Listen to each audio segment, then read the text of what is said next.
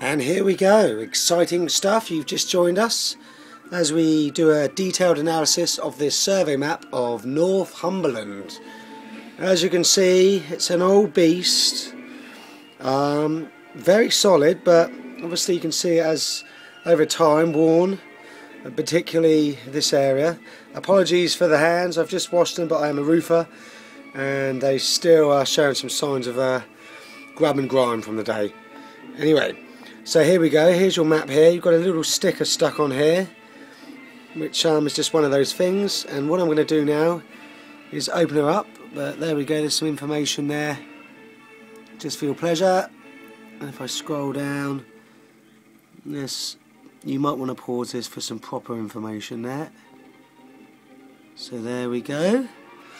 Now yeah as it says this is printed on uh, linen or cloth. So it's tough as old boots in all weather.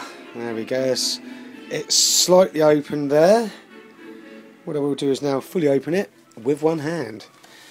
Uh, this is, takes a little bit of a little bit of patience there just to and there you go look at that absolute beautiful map I, I can't back off enough to get it in the shot but that is definitely Northumberland there and it's well, it's magnificent, really. I must say, it's in really good shape. This one.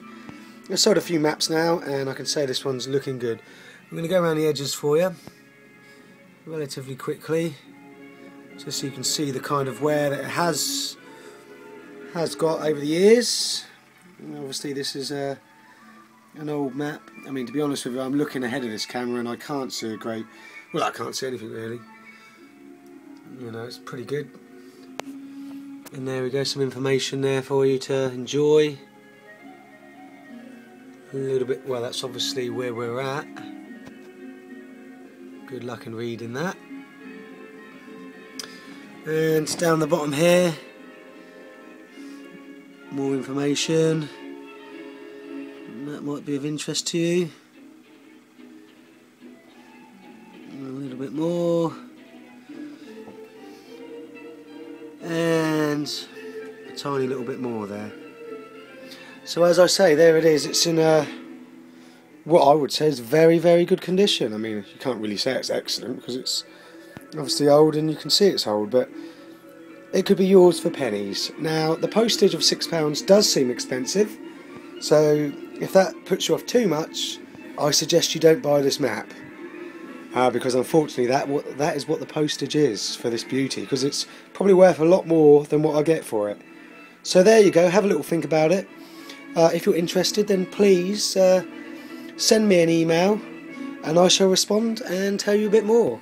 Um, and there you go. I'm going to go now and now put it back in my safety deposit box where it will be safe until some lucky bugger buys it. Thank you very much.